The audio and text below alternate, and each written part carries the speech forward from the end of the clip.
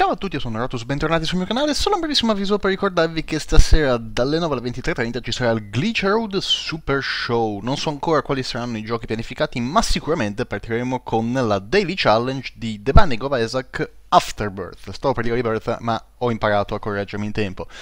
Mi raccomando, non mancate, potete seguire la live uh, in diretta, logicamente, su twitch.tv slash glitcherod oppure sul mio canale YouTube uh, tramite il servizio gaming.youtube.